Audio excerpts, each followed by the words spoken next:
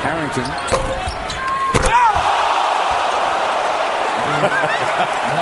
That's what that kid's capable of. That was one heck of a throwdown.